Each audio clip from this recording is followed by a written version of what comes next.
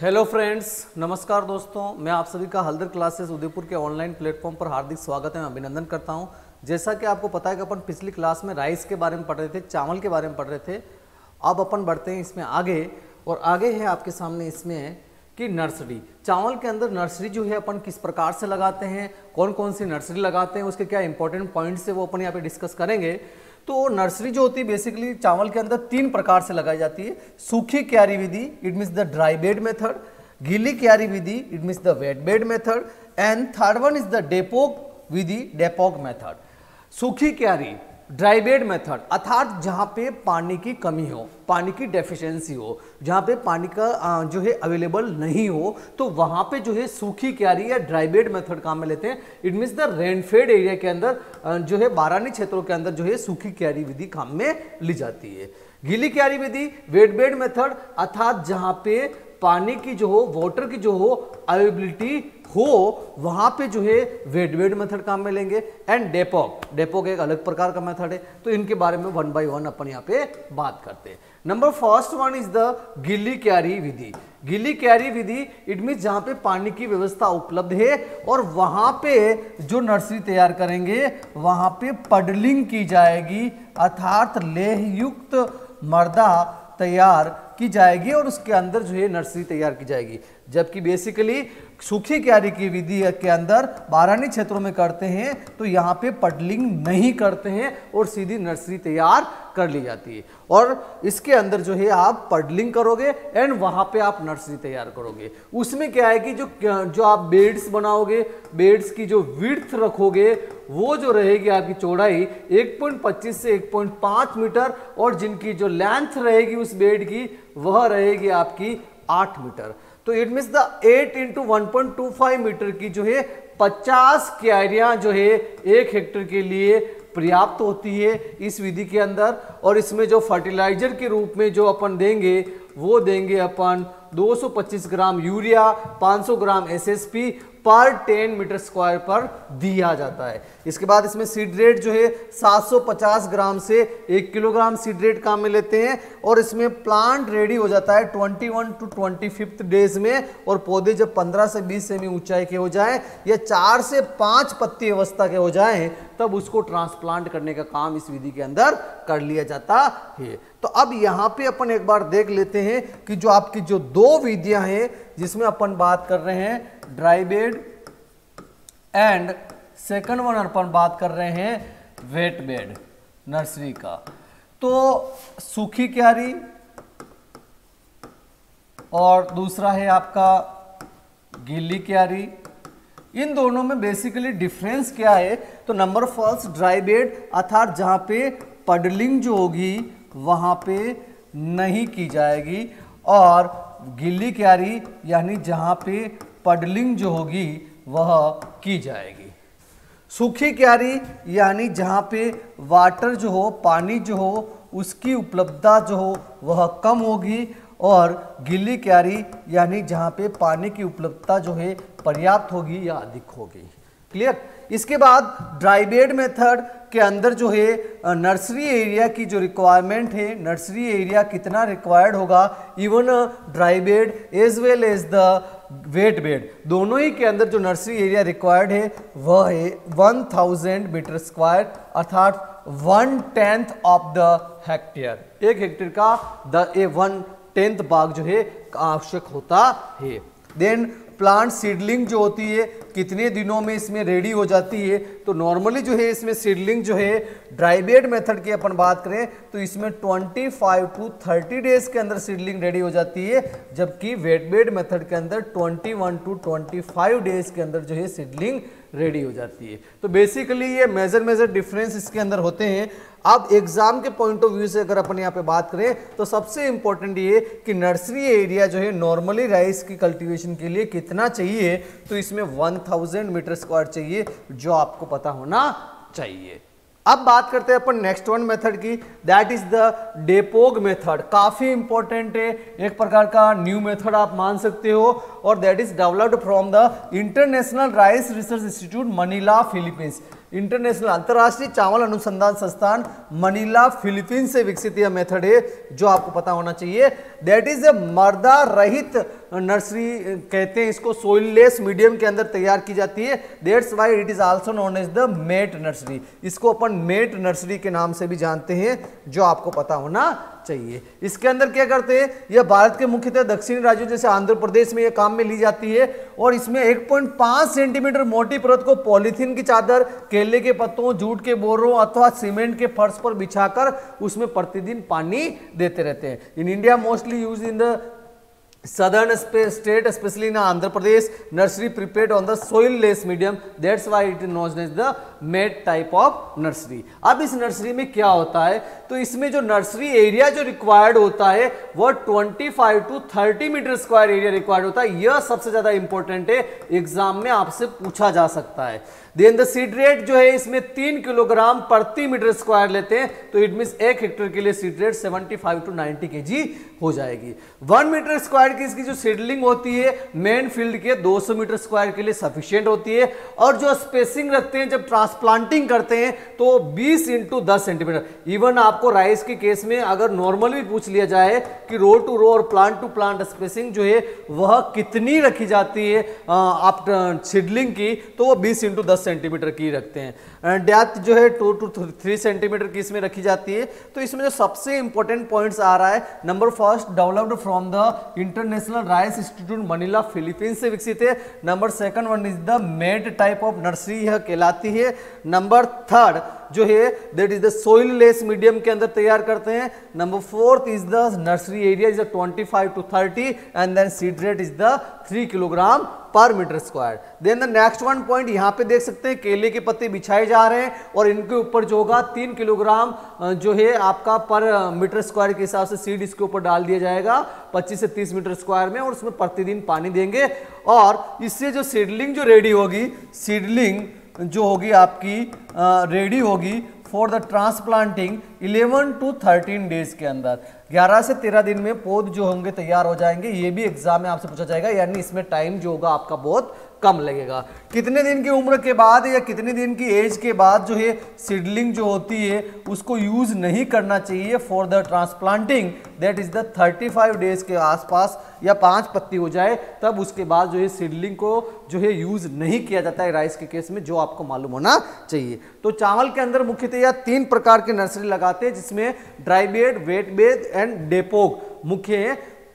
इसमें जो सबसे ज़्यादा अभी प्रचलन में है या जो साउथ स्टेट में जो काम में ले रहे हैं, इंडिया में, वहाँ पे जो ले रहे हैं, डेपोक मेथड काम में लिया जा रहा है और नॉर्मल जो नर्सरी लगाते हैं, उसमें 1000 मीटर स्क्वायर चाहिए और डेपोक में 25 से 30 मीटर स्क्वायर एरिया चाहिए। नॉर्मल नर्सरी में 20 से 25 दिन लगते हैं सिडलिंग रेडी होने में और इसमें 11 से 13 दिन लगते हैं, जो इसका सबसे बड़ा एडवांटेज है, लाभ है, जो आपको पता होना चाहिए। Then the next one is the zones in the rice field जैसा अपन कहते हैं कि राइस फ़ील्ड के अंदर जो है, पानी जो है, पाँच सेंटीमीटर की तह तक भरा हुआ रहना चाहिए। तो इसमें दो प्रकार के जोन का निर्माण होता है। इट मीन जो अपर जो लेयर्स होती है अपर यानी कि जैसे ये आपका पानी भरा हुआ है यहाँ पे तो ये जो यहाँ तक इसमें प्लांट्स भी है राइस के तो यहाँ पे जो ऊपर वाला जो ये पोर्शन है और उसके बाद ये नीचे वाला पोर्शन है, ये दो जोन के अंदर डिवाइड होगा। ऊपर वाला पोर्शन इज़ ऑक्सीडाइज जोन कहलाएगा क्योंकि यहाँ पे ऑक्सीजन होगी और सेकंड वाला आपका रिड्यूस जोन कहलाएगा क्योंकि इसके अंदर ऑक्सीजन नहीं होगी। तो यहाँ पे अपन बात करते हैं दैट इज़ द ऊपरी जोन और upper zone is a one to ten M वाला जो भाग। ये एग्ज़ाम में अक्सर पूछा जाएगा भाई अपर जोन कितनी उसकी जो है हाइट होती है तो वन टू टेन एम होती है। इसमें ऑक्सीजन सप्लाई होती है, बहुत अच्छी ऑक्सीजन सप्लाई होती है। That's why it is known as the oxidise zone ऑक्सीकृत zone के नाम से भी जानते हैं। इसके अंदर नाइट्रेट उर्वरकों का प्रयोग किया जाना चाहिए, क्योंकि बेसिकली अगर अपन राइस की बात करें तो राइस मेनली नाइट्रोजन को अमोनिया के रूप में लेता है, लेकिन कुछ मात्रा में नाइट्रेट के रूप में भी लेता है। तो जो नाइट्रेट फर्टिलाइज़र है, उनको ऑक्सीडाइज जोन के अंदर अप्लाई किया जाता है, जो आपको बेसिकली पता होना चाहिए। देन द सेकंड वन जो इसके बिलो होता है, उसे अपन जो है लोअर जोन और मोर देन 10 एम से नीचे वाला भाग, पूरा आपका जो है लोअर जोन कहलाता है, जिसमें ऑक्सीजन की सप्लाई प्रॉपर नहीं होती है, और जिसे अपन रिड्यूस जोन कहते हैं। और इस जोन के अंदर अमोनियम उर्वरकों का प्रयोग करना चाहिए। ये सबसे ज़्यादा इंपॉर्टेंट है, क्योंकि बेसिकली क्या है कि राइस जो है अमोनिकल फॉर्म में नाइट्रोजन ऑब्जॉर्व करता है, इसलिए अमोनिकल फर्टिलाइज़र का यूज़ जो है राइस के अंदर बहुत ज़्यादा इंपॉर्टेंट है। तो अमोनिकल फर्टिलाइजर्स को राइस में कौन से जोन के अंदर अप्लाई करते हैं? तो वह आपके रिड्यूस जोन के अंदर करते हैं मोर देन टेन एम के नीचे करते हैं, जो आपको बेसिकली पता होना चाहिए। देन अपन इसमें आगे बढ़ते हैं। नेक्स्ट वन आता है बायो फर्टिलाइज़र या जैव उर्वरक जो है राइस के अंदर कौन कौन से काम में लिए जाते हैं? तो यहाँ पे जो सबसे पहला आपके सामने आ रहा है that is the azolla azolla काफ़ी इंपॉर्टेंट है, इसको आप स्टार लगा दें, इसके बारे में बेसिकली क्वेश्चन आता है कि एजोला क्या है? तो ये आपको ध्यान रखना, जलीय फर्न, वाटर फर्न है। क्या है? वाटर फर्न है जो एटमोस्फेरिक नाइट्रोजन को फिक्सेट करने का काम करती है, जिसको खेत में रोपाई से पहले हरी खाद के रूप में एक से दो टन पर हेक्टेयर या रोपाई के बाद भी एक point five to one ton जो है इसको काम में लिया जाता है। तो एजोला बेसिकली क्या करता है? नाइट्रोजन का फिक्सेशन करता है, जिससे क्रॉप को कम नाइट्रोजन देने की आवश्यकता होती है नाइट्रोजन स्थिरीकरण करता है। देन द नेक्स्ट वन ये एजोला आप देख सकते हो, ये आपके राइस के प्लांट है, इसके या बीच बीच में जो आपको हरा वाला जो पानी की तह पर जो दिखाई दे रही है, वह एजोला है। तो इस प्रकार से जो है एजोला को इसमें यूज़ किया जाता है और ये एजोला एटमोस्फेरिक नाइट्रोजन फिक्सेट करके राइस के प्लांट को उपलब्ध करवाती है। Then the next one is the BGA BGA it mean the blue green algae ये भी राइस के केस में काफ़ी ज़्यादा इंपॉर्टेंट है, क्योंकि ये भी क्या करता है? एटमोस्फेरिक नाइट्रोजन का फिक्सेशन करता है वायुमंडलीय नाइट्रोजन का स्थिरीकरण करता है, और राइस को उपलब्ध कराता है। तो यह जो है इसके फिक्सेशन के लिए इसको कैल्शियम की रिक्वायरमेंट होती है और बुआई के सात से दस दिन बाद ट्रांसप्लांट के बाद इसको पंद्रह किलोग्राम पर हेक्टेयर की दर से काम में लेते हैं और ये लगभग बीस किलोग्राम नाइट्रोजन जो है पर हेक्टेयर बचाने का काम जो है इसके द्वारा किया जाता है। तो इसमें दो प्रकार के नाइट्रोजन जो है बायो फर्टिलाइज़र इंपॉर्टेंट है। Number first one is the azolla और number second is the BGA blue green algae इसके बाद इसमें जो है अपन कल्चर भी काम में ले सकते हैं। दैट इज़ द कल्चर जो इसमें काम में लेंगे, वो लेंगे अपन एजोस्पाइरिलम। कौन सा कल्चर इसमें बीजोपचार के लिए काम में लिया जा सकता है? एजोस्पाइरिलम को काम में ले सकते हैं और जिसकी वही मात्रा आपकी तीन पैकेट काम में लेंगे 200-200 ग्राम के अर्थात 600 ग्राम काम में लेंगे। देन द हरी खाद ग्रीन मेन्यूरिंग के रूप में इसमें डेचा का प्रयोग किया जा सकता है। डेचा की फ़सल से ग्रीन मेन्यूरिंग अपन कर सकते हैं, क्योंकि डेचा जो है, ये भी नाइट्रोजन का फिक्सेशन करता है। Then the next one is the fertiliser की बात करें कि भाई एनपीके इसको कितना देना चाहिए? तो देट इज़ द 80 से 120 किलोग्राम नाइट्रोजन 40 से 60 किलोग्राम फॉस्फोरस और 30 से 35 किलोग्राम पोटास तो आपका वही रेशियो आपका 120 60 और 40 जो अपन पढ़ते आ रहे हैं, लगभग थोड़ा बहुत ऊपर नीचे हो सकता है। तो मैंने आपको कहा था, ये केस आपको याद रखना है। सिंचित गेहूँ के केस में इरिगेटेड वीट के केस में then number second is a संकर मक्का हाइब्रिड मैच के केस में नंबर थर्ड चावल के केस में राइस के केस में और नंबर फोर्थ गन्ना सुगर केन के केस में। इन चारों केसेस में 120 60 40 काफ़ी इंपॉर्टेंट है ये 120 60 40 इन चारों केसेस में थोड़ा बहुत ऊपर नीचे आपको मिल सकता है, लेकिन ऑप्शन में अगर आप ढूंढोगे तो आपका आंसर वहाँ पे आपको देखने को मिल जाएगा। दान में नाइट्रोजन की पूर्ति है तो सर्वाधिक उपयुक्त उर्वरक, यानी सबसे बेस्ट नाइट्रोजनस फर्टिलाइज़र जो है राइस के लिए कौन सा माना गया है? That is the ammonium sulphate माना गया है। काफ़ी इंपॉर्टेंट है, इसको आपको ध्यान रखना है कि सबसे बेस्ट जो फर्टिलाइज़र है राइस के लिए, वह कौन सा है? तो अमोनियम सल्फेट है, जिसके अंदर नाइट्रोजन 20.6 एंड सल्फ़र 24.5 परसेंट के होती है। चावल की फ़सल में अमोनिकल उर्वरक का प्रयोग, यानी अमोनिकल फर्टिलाइज़र का यूज़ कहाँ करते हैं, जो अपन पिछली स्लाइड में देख चुके हैं? That is the reduce zone के अंदर किया जाता है, जो भी आपको पता होना चाहिए। देन नेक्स्ट वन इसमें आगे बढ़ते हैं कि धान की फ़सल नाइट्रोजन को मेनली जो ऑब्जॉर्व करती है, वह अमोनियम फॉर्म के अंदर ऑब्जॉर्व करती है। बेसिकली मेन फॉर्म जो है इसकी अमोनिया है। लेकिन ये एक ऐसी फ़सल है जो नाइट्रोजन को ammonia as well as nitrate दोनों फॉर्म के अंदर ऑब्जॉर्व कर सकती है। तो ये भी आपको पता होना चाहिए। और मैक्सिमम जो क्रॉप्स होती है राइस के अलावा दूसरी क्रॉप्स की बात करें तो मैक्सिमम क्रॉप्स जो है नाइट्रोजन को नाइट्रेट फॉर्म में ऑब्जॉर्व करती है। लेकिन आपका जो राइस है, वह नाइट्रोजन को अमोनिकल फॉर्म में मैक्सिमम ऑब्जॉर्व करता है, जो आपको पता होना चाहिए। देन अपन इसमें आगे बढ़ते हैं कि इसमें चावल के अंदर राइस के अंदर नाइट्रोजन की नाइट्रोजन यूज़ एफिशिएंसी कितनी होती है? तो अदर क्रॉप्स की अपेक्षा कम होती है 30 से 40 परसेंट ही होती है, जबकि अन्य फ़सलों के अंदर 40 से 50 परसेंट जो है नाइट्रोजन यूज़ एफिशिएंसी होती है। ये कम होने के पीछे रीजन ये है क्योंकि इसका कल्टिवेशन जो है, अपन पानी के अंदर पानी भरा हुआ रहना चाहिए, इसकी रिक्वायरमेंट है। तो उसमें क्या होता है? इस नाइट्रोजन का लोसेस जो होता है राइस चावल के केस में बहुत ज़्यादा होता है। Then the next one is the irrigation irrigation की बात करें तो इरिगेशन में इसकी वाटर रिक्वायरमेंट कितनी है? 900 से 2500 सौ mm इसकी वाटर रिक्वायरमेंट है, जल मांगे। काफ़ी इंपॉर्टेंट है एग्ज़ाम पॉइंट ऑफ़ व्यू से। ये कई बार एग्ज़ाम के अंदर पूछा जाता है। तो पर डे के हिसाब से पर डे के हिसाब से अगर वाटर रिक्वायरमेंट जल मांग की बात करें तो सबसे ज़्यादा कौन सी क्रॉप की होती है? तो वह आपके राइस की होती है, चावल की होती है, जो आपको पता होना चाहिए। देन बात करें इसकी क्रिटिकल स्टेज कौन सी पानी के लिए जो है क्रांतिक अवस्था कौन सी मानी गई है? तो बूटिंग अवस्था या जॉइंटिंग अवस्था इसकी क्रिटिकल मानी गई है और इसके खेत में लगभग पाँच सेंटीमीटर लेवल तक पानी भरा रहना चाहिए, जो भी आपको मालूम होना चाहिए। देन अपन बात करें भाई, पानी जो है हमेशा भरा रहना चाहिए। ऐसा नहीं है, जब क्रॉप हार्वेस्ट करने के आसपास हो, यानी दो वीक से पहले जो है, उसके खेत से पानी को आपको निकाल देना चाहिए, ये आपको पता होना चाहिए, उसके बाद उसकी हार्वेस्टिंग करते हैं।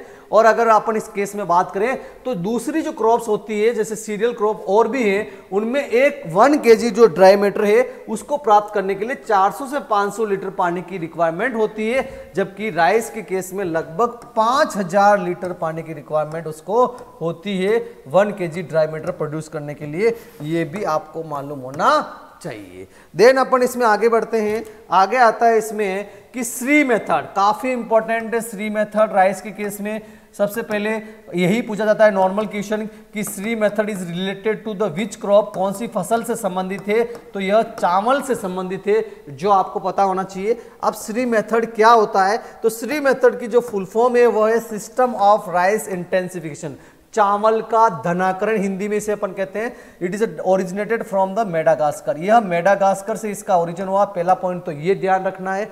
और it is developed in 1983 by the French Jesuit father Henri de नेलिले in the Madagascar इनके द्वारा विकसित किया गया था। इसमें सीड्रेट कितनी है? तो आपको बेसिकली पाँच से छः नहीं, पाँच किलोग्राम। सीड्रेट जो है, पाँच किलोग्राम प्रति हेक्टेयर इसमें रिक्वायर्ड होती है। ये आपके लिए सबसे ज़्यादा इंपॉर्टेंट है। Then second one is the इसमें स्पेसिंग जो रखी जाती है, बहुत ज़्यादा वाइड रखते हैं। It mean the row to row भी 25 centimetre and the plant to plant भी 25 सेंटीमीटर रखते हैं, जबकि नॉर्मल राइस के अंदर अपन 20 इंटू टेन रखते हैं। तो यानी यहाँ पे प्लांट को पूर्ण स्पेस दिया जाता है।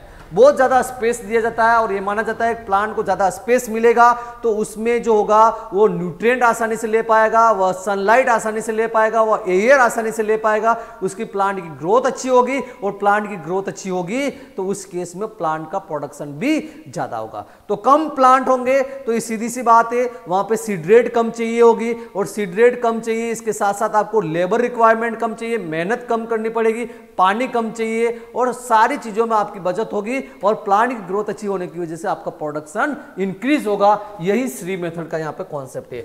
यहाँ पर मीटर स्क्वायर में प्लांट जो है 16 आएँगे और इसमें सीडलिंग जो है, कब आप ट्रांसप्लांट करोगे तो that is the two leaf stage पे इस केस में सीडलिंग ट्रांसप्लांट कर ली जाती है। आठ से बारह दिन पर इसमें सीडलिंग तैयार कर ली जाती है तैयार हो जाती है, जो ट्रांसप्लांट कर देते हैं। एट द कौन सी स्पेसिंग पे? 25 फाइव इंटू सेंटीमीटर की डिस्टेंस पे इसको कर देते हैं। प्रति हिल या पर हिल जो इसमें जो है एक सिंगल सीडलिंग को ट्रांसप्लांट इसमें किया जाता है। बाकी अदर मेथड में क्या होता है जो भी आप डेपोग मेथड है या गीली कैरी या सूखी कैरी जो मेथड काम में ले रहे हो, उसमें दो या तीन सीडलिंग जो होती है एक जगह पे लगाई जाती है, जिसे हिल बोलते हैं। जबकि इस केस में एक हिल के अंदर एक ही सीडलिंग को ट्रांसप्लांट करने का काम जो है किया जाता है। तो इस केस में यहाँ पे स्लाइड के अंदर जो इंपॉर्टेंट पॉइंट जो श्री मेथड के बारे में आ रहा है नंबर फ़र्स्ट वन तो मेडागास्कर से संबंधित है नंबर सेकंड जो है राइस क्रॉप में ये अपनाई जाती है और इसकी सीड रेट जो है पाँच kilogram and then the spacing of the SRI method is a 25 to 25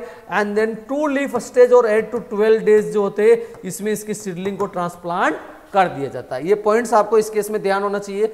Then the next one is the इसमें जो वाटर रिक्वायरमेंट जो होती है वन के जी ड्राई मैटर प्रोड्यूस करने के लिए one five seven one litre water ही required होता है। बाकी अदर अगर अपन बात करें तो लगभग फाइव थाउज़ेंड लीटर वाटर पाँच हज़ार लीटर पानी की आवश्यकता होती है, जो अपने पिछली स्लाइड में देखी। तो यहाँ पे पानी की भी यहाँ पे बचत होती है। तो इसमें सीड की जो बचत है सेवेंटी टू एट्टी परसेंट होती है। लेबर की बचत आपकी फोर्टीन परसेंट होती है। उपज में वर्दी बीस से पैंतालीस परसेंट होती है। हाई प्रोडक्टिविटी होती है। इरिगेटेड राइस की जो आपको पता होना चाहिए। तो SRI method is related to the rice SRI method जो है राइस से संबंधित है, चावल से संबंधित है। मेडागास्कर से विकसित हुआ है। पाँच किलोग्राम इसमें बीज दर चाहिए और सिल्लिंग आठ से बारह दिन में तैयार हो जाती है और दो पत्ती अवस्था पर उसको ट्रांसप्लांट कर दिया जाता है, जिसमें पानी बहुत कम चाहिए। पंद्रह सौ पंद्रह सौ इकहत्तर लीटर के अंदर जो है आप one K G dry matter इसमें प्रोड्यूस कर सकते हो। बाकी नॉर्मल केसेस में आपको पाँच हज़ार लीटर पानी की आवश्यकता होती है। Then the next one is the बुशनिंग बुशनिंग क्या होता है? तो बूसनिंग काफ़ी इंपॉर्टेंट प्रैक्टिस है जो राइस के अंदर अपनाई जाती है, जो वीड मैनेजमेंट के लिए, खरपतवार नियंत्रण के लिए अपनाई जाती है। जब धान के पौधे 25 से 45 दिन के बीच हो या चार से छह सप्ताह के बीच के हो जाए तो खेत में हल चलाकर खरपतवार अधिक को निकालने के जो है बुशनिंग अपन कहते हैं, इसका मुख्य उद्देश्य खरपतवार प्रबंधन मर्दा वायु संचरण को बढ़ावा देना और पौधे को मजबूती प्रदान करना है। It mean the ploughing at the 25 to 45 days after the transplanting in the standing crop by the plough the main purpose is the weed management and better soil aeration increase the plant stability weed management सबसे important है यहाँ पे तो बुशनिंग किस लिए करते हैं? Standing crop में, उनकी रो के बीच में, जो राइस की जो रो है, उसके बीच में जो है प्लोइंग की जाती है या को चलाया जाता है, जिससे जो है वीड जो है वो रिमूव हो जाए। तो बुशनिंग एक वीड रिमूवल का सबसे बेस्ट मेथड माना गया है और ऐसा करने से सोइल में एरिएशन भी बढ़ता है, जिससे प्लांट की ग्रोथ भी अच्छी होती है। Then the next one is the weeds कौन कौन से खरपतवार जो है, चावल के केस में होते हैं तो उस केस में अपन इसमें सबसे पहले देखे तो चावल का नकलची या मिमिक्री वीड कौन सा माना गया है, जो आपको पता होना चाहिए। That is the barnyard grass सावा घास या barnyard grass that is Echinochloa crus galli ये नाम आपको पता होना चाहिए, जो चावल का एक नकलची खरपतवार है, जो आपको मालूम होना चाहिए। Then next one is the wild rice is जंगली दान इज़ इकाइनोक्लोवा कोलोनम जो कुछ इस प्रकार का दिखाई देता है। ये भी चावल के अंदर अक्सर उगता है, जो आपको पता होना चाहिए। Then next one is the water hyacinth ये भी आपको पता होना चाहिए। वैसे ये बेसिकली सजावट के रूप में अपने कंट्री में लाया गया, लेकिन आज जो है ये खरपतवार का स्टेटस ले चुका है। जली खरपतवार जिसे जलकुंभी के नाम से अपन अक्सर इसे जानते हैं।